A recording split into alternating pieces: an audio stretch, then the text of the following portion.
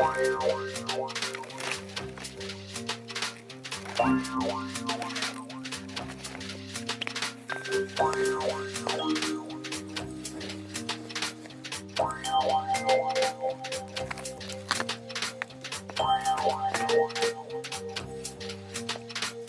Wow.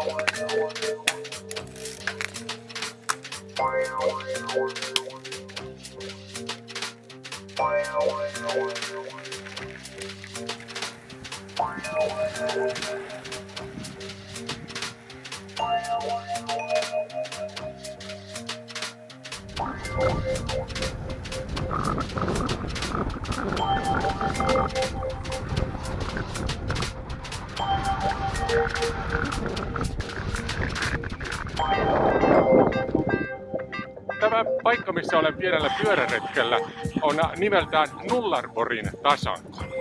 Tämä sijaitsee läntisessä Australiassa, Perthistä, sellainen noin tuhat kilometriä kohti itää. Ja kyseessä on autiomaa, vaikka täällä näyttää olevan kovasti näitä puita ja pensaita. Palaamme niihin hetken kuluttua myöhemmin. Syy siihen, miksi olen täällä pyöräilevässä on se, että mielestäni kaikkein paras tapa tutustua maisemaan on tuntea se jaloissa. Pyöräily on mainio tapa paitsi liikkua paikasta toiseen, niin myös olla suorassa yhteydessä tämän ympäristön kanssa. Täällä tuntee niin tämän vastatuulen kuin myös tuoksut ja kaiken muun ympärillään. Ja tosiaan tie menee pikkuisen ylös ja alas. Kuten hyvin tiedetään, täällä Australiassa aurinko saattaa olla varsin kuuma. Eikä vain saata, vaan se on. Ja siksi olen lähtenyt matkaan hyvin aikaisin aamulla. Kello on tällä hetkellä vähän yli se kuusi. Olisi pitänyt lähteä jo hieman aikaisemminkin, mutta jotenkin nukutti. Aurinko on tällä hetkellä parikymmentä astetta korkealla. Ilma on oikeastaan miellyttävän viileä tällä hetkellä. Ja ellei nyt tätä pientä vastatuulta oteta huomioon, niin tilanne on oikein mukava. Ilma on hyvä, tuntuu hyvältä.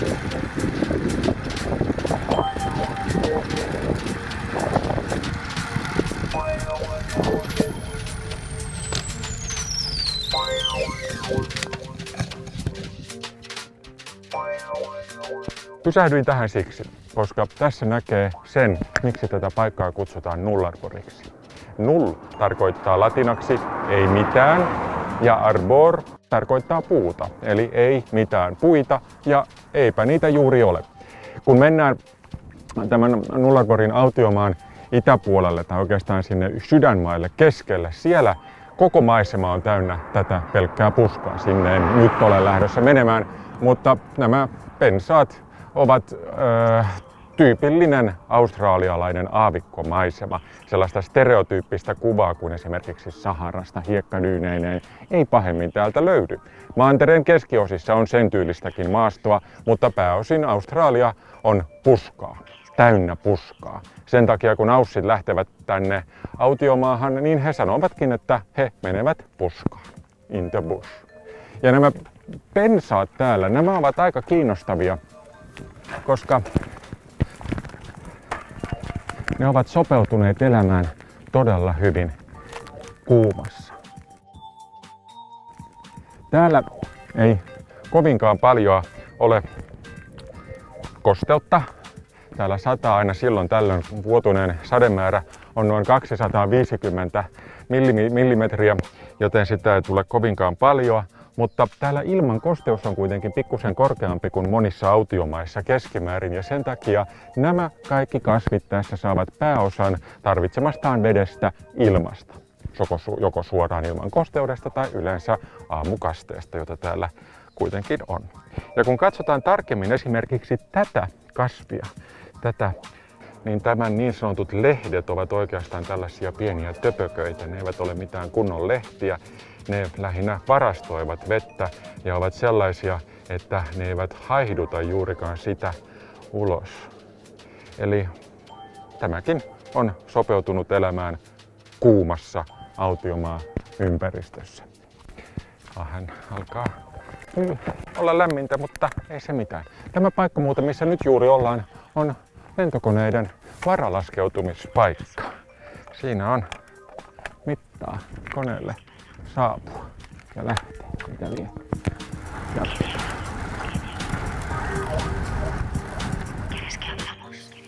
Nullarborin alue on vanhaa merenpohjaa. 116 miljoonaa vuotta sitten maailmanlaajuisesti merenpinnan taso oli korkeimmillaan ja silloin niin sanottu Eromangan meri peitti suuren osan koko Australiastakin.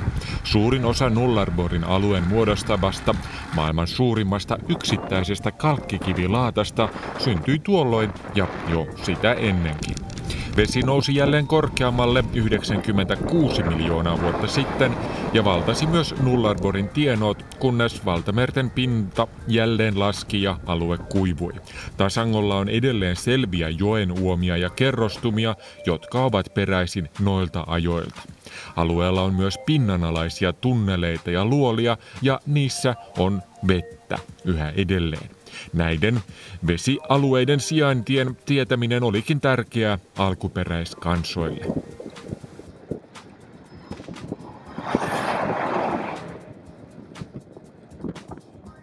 Nuo maantiejunat ovat oikeastaan ainoa asia, mikä täällä pikkuisen, en nyt sano pelästyttää, mutta pitää varuillaan. Ne ovat isoja ja niistä tuleva tuuli on varsin kiinnostava, etenkin siis näin pyöräilijän näkökulmasta.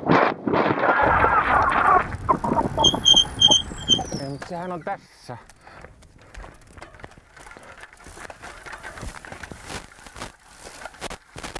Tässäpä hyvin. Niin. Joopa.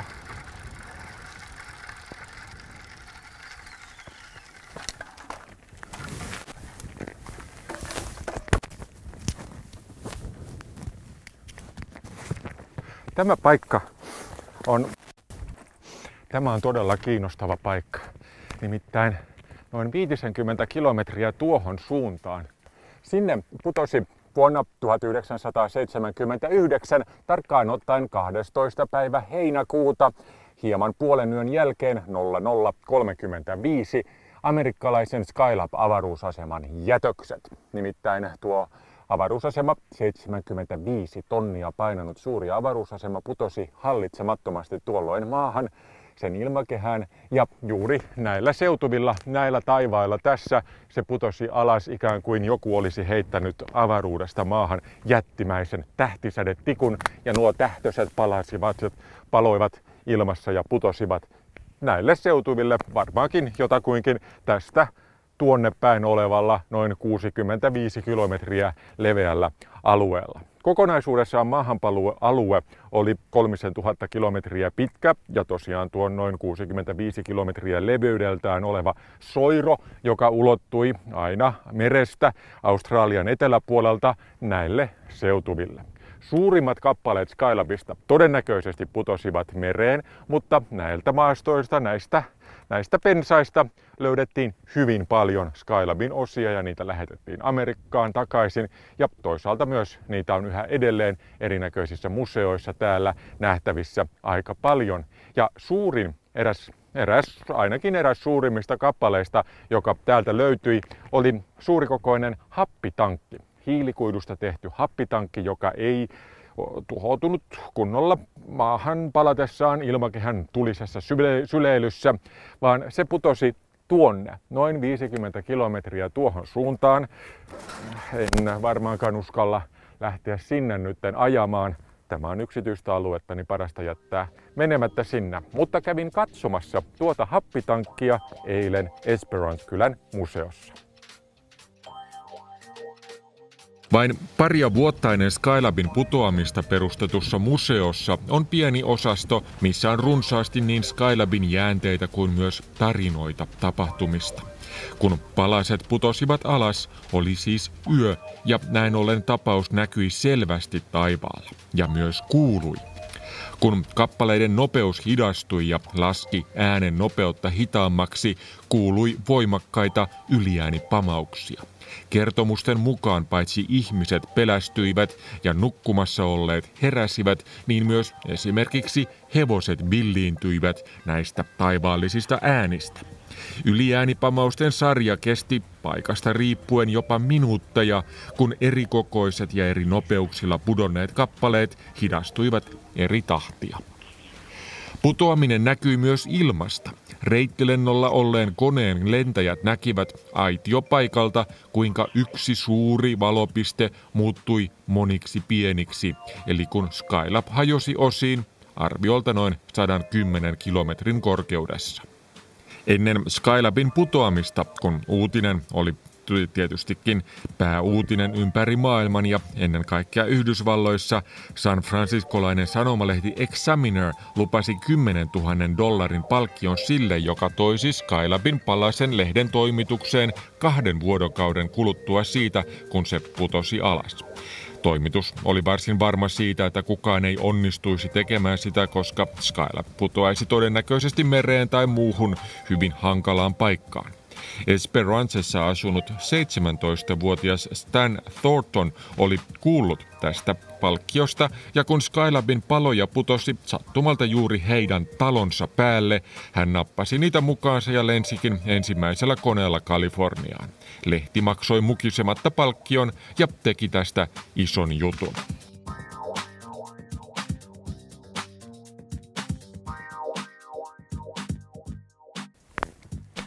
Näillä taivailla siis tapahtui.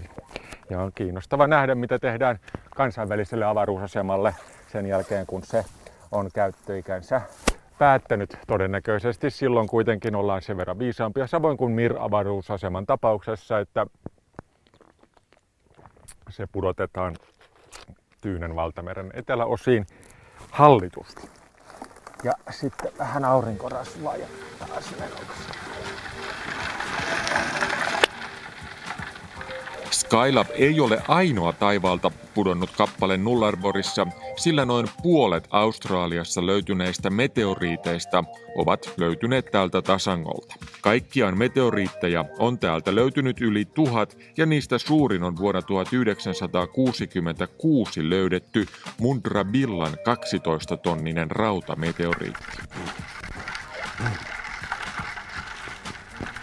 No joo, aina nimismiehenkin harraa varmaan nelivetotie, mutta kyllähän se menee näin yksivedollakin. Että pystyisi katsomaan paremmin tätä paikallista geologiaa, täytyy vähän poiketa tuolta päätieltä. Tämä on tällainen sivutie. Ja tässä näkee oikein hyvin, kuinka ei kovinkaan syvällä tässä pinnan alla on tämä kalkkikivikerros.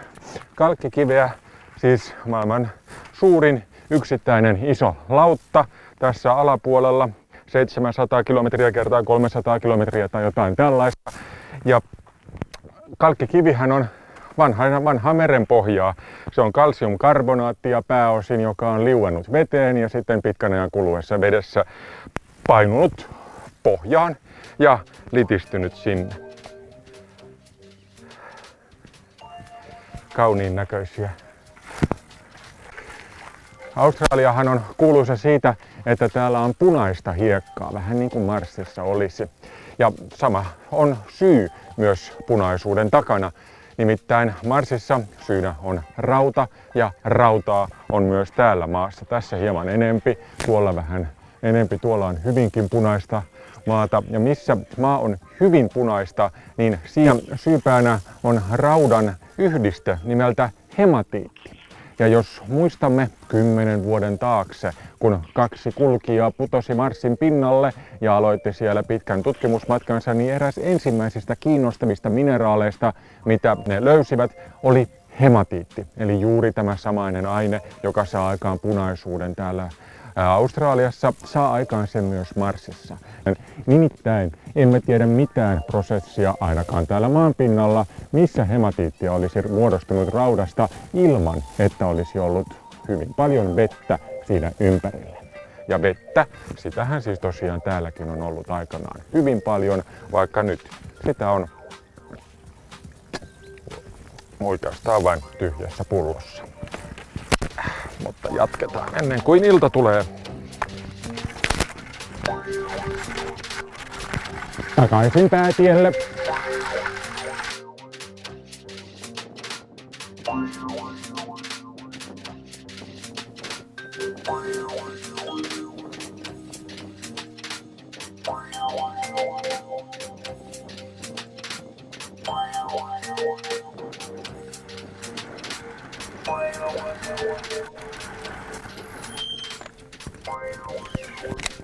Kas. Mutta siinähän on se panna.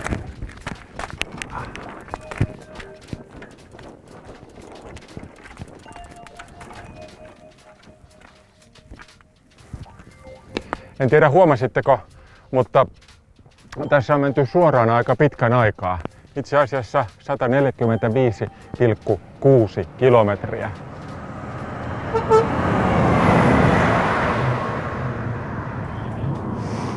Tämä on eräs maailman pisimpiä täysin suoria teitä. Ja aikanaan sitä kuviteltiin, että se on maailman pisin, mutta kuulemma Amerikassa on joku, joka on pikkusen pidempi, joten nyt siinä lukee pelkästään Australian pisin tie. Aikanaan kun näitä teitä alettiin rakentamaan tänne Australian takamaille, niin se tapahtui hyvin yksinkertaisella tavalla. Oli jeppi ja oli puskutraktori. Jeppi ajoi niin kauaksi puskien keskellä kuin vain näköyhteys maasturista. Ja puskutraktoriin säilyi ja sieltä sitten maastoauton kuljettaja näytti peilillä auringosta heijastaen kohti puskutraktoria, että tähän suuntaan. Ja puskutraktori lähti sitten puskemaan läpi pusikon siihen suuntaan. Ja lopputuloksena oli jonkinnäköinen tie tai polku, joka oli pikkuisen parempi ja helppokulkuisempi kuin tämä pusikkoinen maa. Myöhemmin tietysti sitten tietä levennettiin ja pistettiin päällystä ja näin edespäin ja nyt sitten pystytään ajamaan tällä tavalla kätevästi vaikkapa Perthistä Sydneyin saakka tai jopa kauemmaksikin. Tämä tie tässä, tämä, tämä palanen on nimeltään Eure Highway, eli Euren maantie, ja se kulkee, sen, sen numero on M1, eli se on ykköstie. Eli se kulkee Perthistä Adelaideen ja se rakennettiin 56-57 ja miksikö? No paitsi, että on kätevämpi liikkua, mutta ennen kaikkea sen takia, että britit tulivat tänne silloin tekemään omia ydinkokeitaan. Niitä tehtiin Nullerborin autiomaan toisessa päässä muutamia kappaleita. Kaiken kaikkiaan seitsemän ydinpommia britit räjäyttivät täällä vähän eri puolilla. On jännää, miten tasaisesta ja kuivasta autiomaan palasesta riittää kerrottavaa, jopa siinä määrin, että kolme kameran akkua eivät riittäneet tätä pitemmälle. Mutta kenties tässä olikin asiaa ihan riittävästi yhteen videoon, vaikka paljon jäi vielä kertomattakin. Kenties tässä on hyvä syy mennä joskus uudelleen tuonne toiselle puolelle pikkuplaneettaamme, ajamaan kenties hieman pidemmällekin vielä autiomaata eteenpäin.